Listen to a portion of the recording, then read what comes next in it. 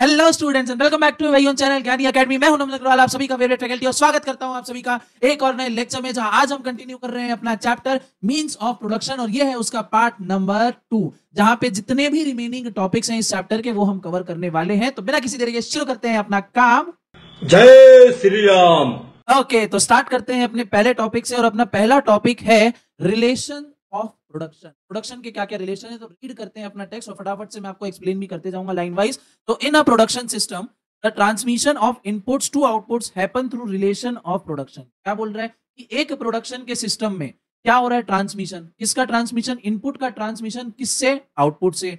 इसी को हम क्या बोल रहे हैं? यहाँ पे प्रोडक्शन बोलते हैं। ठीक है? इनपुट हम कन्वर्ट कर रहे हैं। रॉ मटेरियल को हम कन्वर्ट कर रहे हैं फिनिश गुड्स में। और ये किसके हेल्प से हो रहा है? किसके थ्रू से हो रहा है? प्रोडक्शन के थ्रू से हो रहा है। क्लियर है पहली line it may be technical और सोशल ये टेक्निकल भी हो सकता है सोशल भी हो सकता है। एमसीक्यू क्वेश्चन आ जाएगा रिलेशन ऑफ़ प्रोडक्शन में B option A technical option B social option C both technical and social और option D none of above तो क्या डालोगे? ऑप्शन नंबर सी क्या डालोगे? टेक्निकल और सोशल तो रिलेशन ऑफ़ प्रोडक्शन टेक्निकल और सोशल दोनों हो सकता है। इन एडिशन इसके अलावा इसके अलावा इनपुट को आउटपुट में कन्वर्ट कर रहे हैं, उसका जो प्रोसेस के थ्रू जा रहा है, वो प्रोडक्शन है। इसके अलावा the term relation of production refers to the relationship between those who own the means of production, that is the capitalistic or bourgeois, and those who do not, that is the worker or proletariat. क्या बोल रहा है यहाँ पे ऊपर वाली line के अलावा ठीक है अलावा यानी एक एडिशन में क्या है रिलेशन ऑफ़ जो प्रोडक्शन है वो बात करता है वो रिफर करता है रिलेशन बिटवीन जो मीन्स ऑफ़ प्रोडक्शन को ओन करते हैं ठीक है और जो ओन नहीं करते हैं। तो जो मीन्स ऑफ़ प्रोडक्शन ओन करते हैं उनको बोलते हैं कैपिटलिस्टिक यानी बड़े बड़े बिजनेसमैन सेकंड क्या है जो मीन्स ऑफ़ प्रोडक्शन ओन नहीं करें कर्मचारी वर्कर या प्रो लिटरेंट प्रो लिटरेंट क्या भैया? ओवर एकदम एक्सप्लॉइटेड वर्कर को हम क्या बोलते हैं? प्रो लिटरेंट क्लियर है? फ़र्स्ट वाले पार्ट में अपन ने डिस्कशन किया था। अगर बाई चांस मिस कर दिया तो जाके देख लेना प्ले सेक्शन में मिल जाएगा।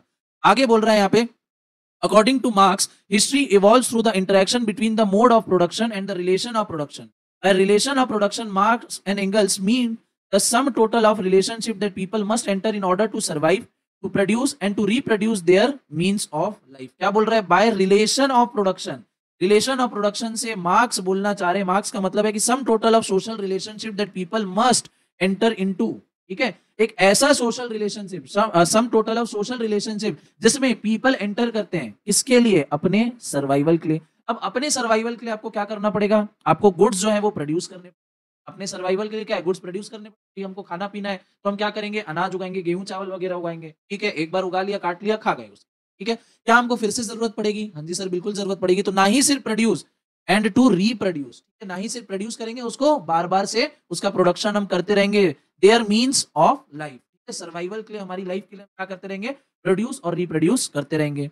Marx and Engels typically use the term to refer socio economic relationships characteristic of a specific period for example फिर यहाँ से इसको रहने दो यहाँ पे।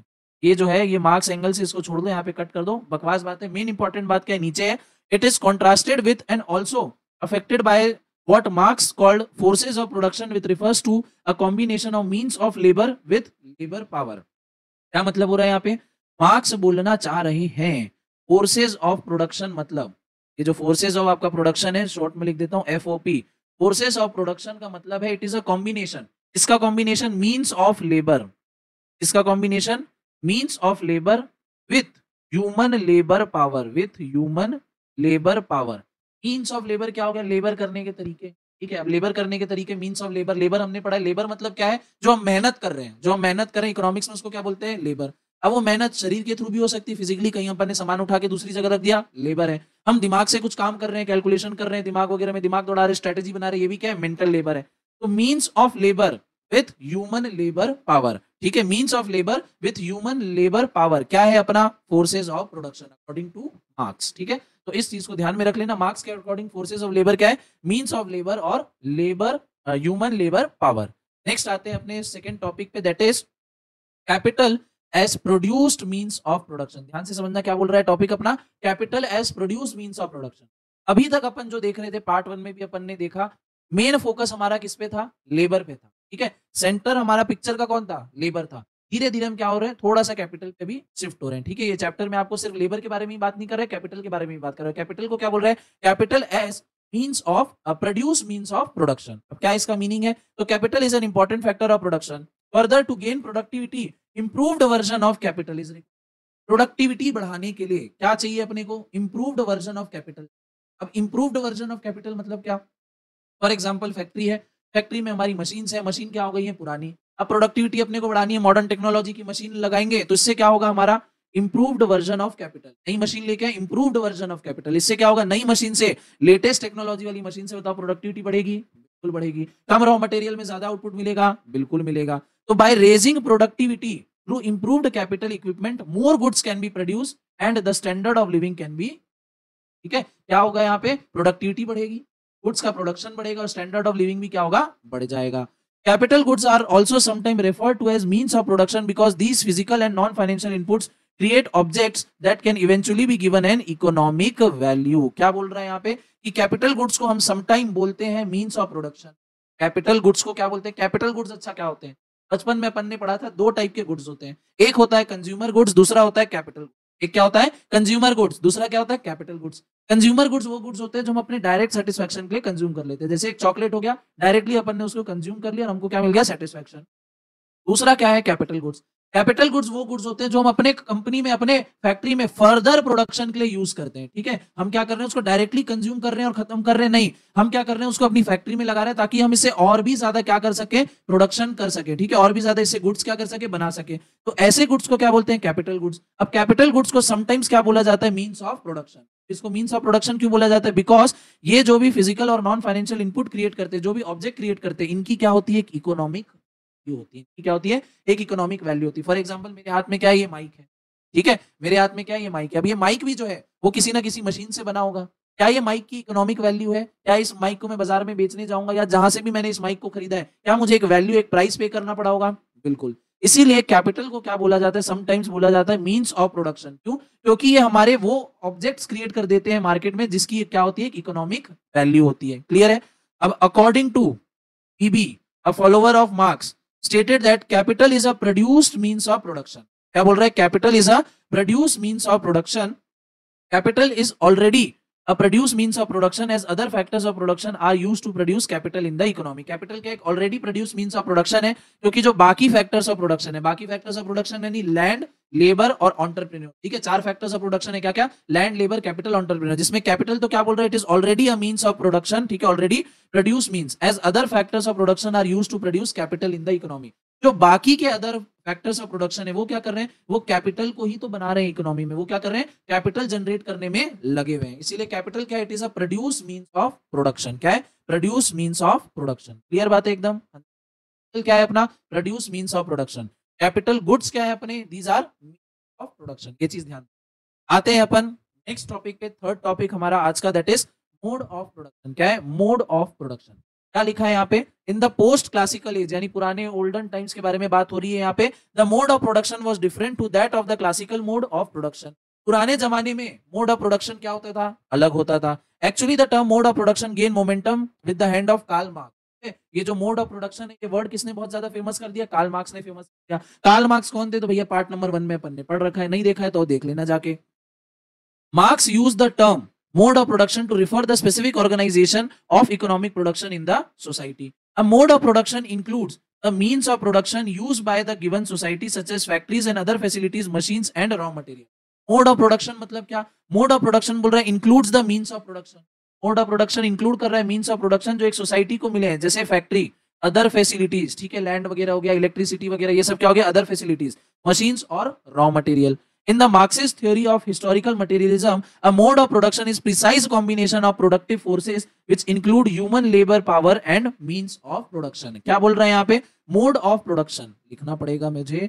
Mode of production is equal to, mode of production का मतलब यहाँ पे क्या बोल रहा है? इट इज़ अ कॉम्बिनेशन किसका कॉम्बिनेशन प्रोडक्टिव फोर्सेस का। प्रोडक्टिव फोर्सेस मतलब क्या? तो प्रोडक्टिव फोर्सेस मतलब ह्यूमन लेबर पावर क्या? Human labour power H human labour power and and यानी क्या करेंगे? Add and means of production ठीक है? मोड ऑफ़ प्रोडक्शन क्या है? ह्यूमन लेबर पावर और मीन्स ऑफ़ प्रोडक्शन का क्या है? कॉम्बिनेशन है। ठीक है? प्रोडक्टिव फोर्सेस क्या लिखा है? देखो combination of productive forces which include human labour power और मीन्स ऑफ़ प्रोडक्शन आगे classical Greek and Roman society are the most typical example of antique mode of production ठीक है?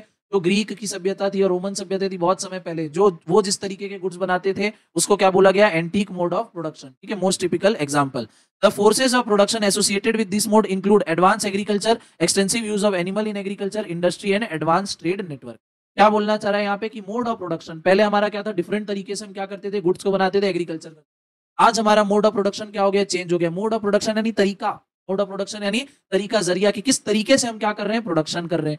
पहले कैसे करते थे? भैया हाथ से सारा काम होता था। फिर धीरे धीरे छोटे मोटे हमारे पास टूल्स आ गए। ठीक है? एग्रीकल्चर हम कैसे करते थे? हाथ से ही कर रहे हैं, बीज उगा रहे हैं, गड्ढा खोद रहे हैं। ठीक है? क्या कर रहे हैं इसको? सब काम हाथ से हो रहा है। फिर धीरे धीरे हमारे पास क्या आ गए? टूल्स आ गए।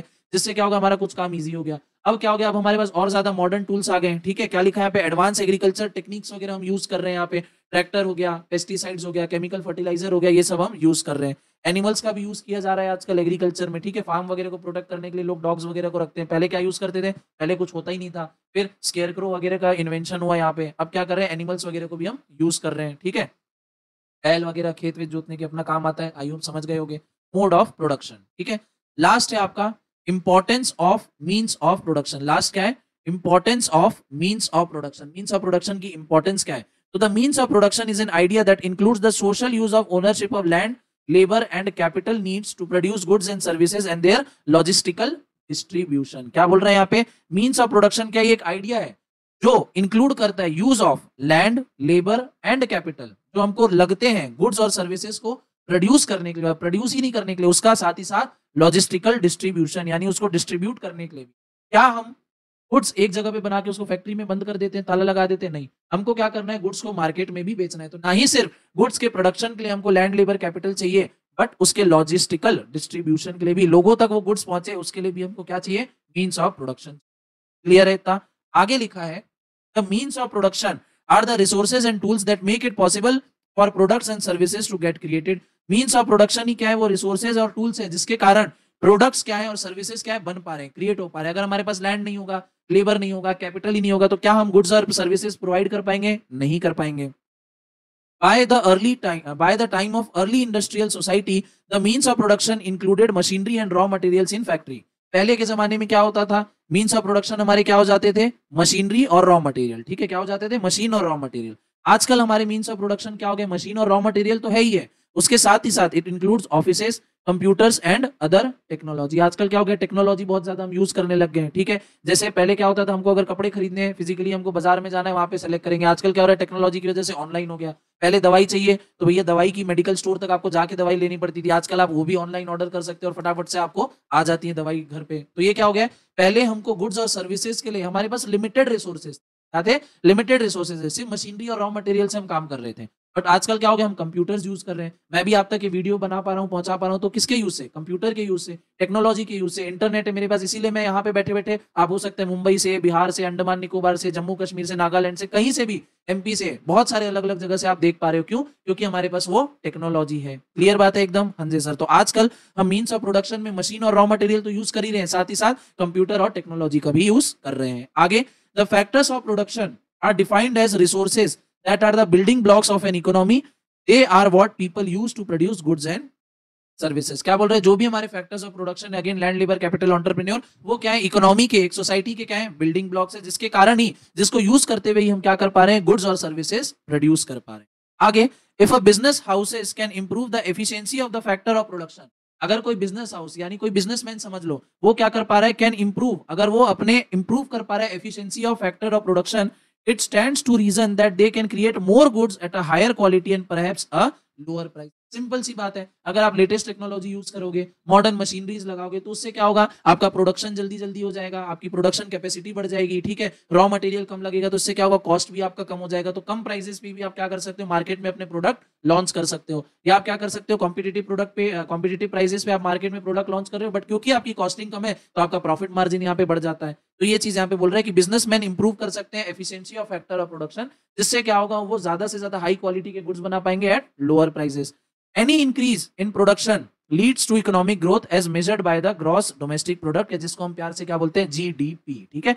जीडीपी क्या होता है यहाँ पे? एक कंट्री में एक साल भर में मान लो जितने भी गुड्स का प्रोडक्शन हुआ है that is known as GDP covid के समय में सुन रहे होगे इंडिया की जीडीपी गिर गई डाउन में हो गई तो क्यों डाउन में हुई? भाई लॉकडाउन लगा हुआ था। फैक्ट्रीज वगैरह बंद थी वर्कर्स जा ही नहीं पा रहे थे, काम ही नहीं हो पा रहे तो जब गुड्स का प्रोडक्शन ही नहीं होगा तो जीडीपी तो नीचे जाएगी, क्योंकि जीडीपी का मतलब क्या है कि ग्रॉस बेसिस पे कितना गुड्स का डोमेस्टिक प्रोडक्शन हो रहा है कंट्री में कितना गुड्स का प्रोडक्शन हो रहा है that is known as GDP अब लॉकडाउन है फैक्ट्री बंद है वर्कर नहीं जा पा रहे तो जीडीपी बट ऑब्वियस नीचे जाएगी. क्लियर है? हाँ जी सर अब यहाँ पे वही बोल रहे हैं कि अगर हमारी जो प्रोडक्शन है ज़्यादा बढ़ जाएगी तो हमारी जीडीपी भी क्या हो जाएगी? बढ़ जाएगी और इकोनॉमी भी हमारी अच्छी तरीके से ग्रो करेगी, क्योंकि जीडीपी के बढ़ने का मतलब क्या है? गुड्स हम ज़्यादा प्रोड्यूस कर रहे हैं। गुड्स हम ज़्यादा कब प्रोड्यूस करेंगे जब मार्केट में उसकी डिमांड होगी? मार्केट में किसी गुड्स की डिमांड क्यों होगी? जब लोगों के पास पैसा होगा। अगर लोगों के पास पैसा ही नहीं होगा तो लोग गुड्स को डिमांड ही नहीं करेंगे और जीडीपी भी क्या होगी? नहीं बढ़ेगी। तो अगर किसी कंट्री की जीडीपी बढ़ रही है मतलब क्या लोगों के हाथ में बहुत ज़्यादा पैसा आ रहा है? लोगों को इंप्लॉयमेंट मिल रही है। लोगों को क्या मिल रही है? फैसिलिटीज़ मिल रही है एजुकेशन मिल रही है, ठीक है? तो ये सब इंडिकेटर्स होते हैं। क्लियर बात? है हाँ जी सर लास्ट लाइन क्या है? Improved economic growth raises the standard of living by lowering cost and raising ठीक है? राइजिंग वेजेस क्या हो रहा है यहाँ पे? इकोनॉमिक ग्रोथ होगी इंप्रूव्ड इकोनॉमिक ग्रोथ होगी तो इससे क्या होगा? स्टैंडर्ड ऑफ़ हमारा जो लिविंग है क्वालिटी लाइफ हम क्या कर पाएँगे? जी पाएँगे। ठीक है, हमारे पास ज़्यादा पैसा है, ठीक है तो हम क्या करेंगे? अच्छी से अच्छी एजुकेशन अच्छे अच्छे से अच्छा हम खाना खा पाएँगे, ठीक है, बिना मिलावटी वाला प्योर जो खाना है, वो हम खा पाएँगे क्लियर बात है। तो इससे क्या होगा? हम हेल्दी भी रहेंगे लॉन्ग हमारी लाइफ लॉन्ग भी बढ़ जाएगी, हम क्या कर पाएँगे? ज़्यादा समय तक एक्टिवली काम भी कर पाएँगे और हमारी कंट्री की इकोनॉमिक ग्रोथ में बहुत ज़्यादा कॉन्ट्रीब्यूट कर पाएँगे। क्लियर बात है?